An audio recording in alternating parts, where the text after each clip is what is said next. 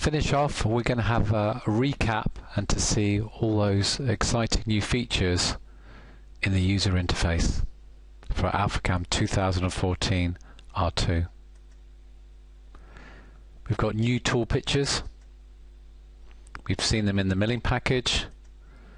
We also have them in the lathe package for defined tool type, as well as new pictures for the edge tip relationship on turning tool definition. CAD inputs added to recent file list. Once we've loaded them once, it makes it easy to recall them. and there's a configuration setting to allow you to do this. Input and output CAD listings are now in alphabetical order. We'll see this appearing from now, don't show this message again. In this case, this example, layers and operations, before we would always have to accept this. What we can now do, if we don't want to see it, we can switch it off permanently.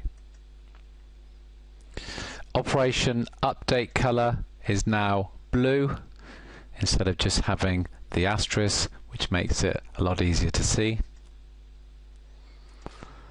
Fractional dimensions are now available to us on a tick box. Very important for the American market.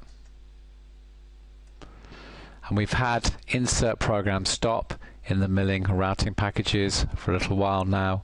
We now have that supported in lathe.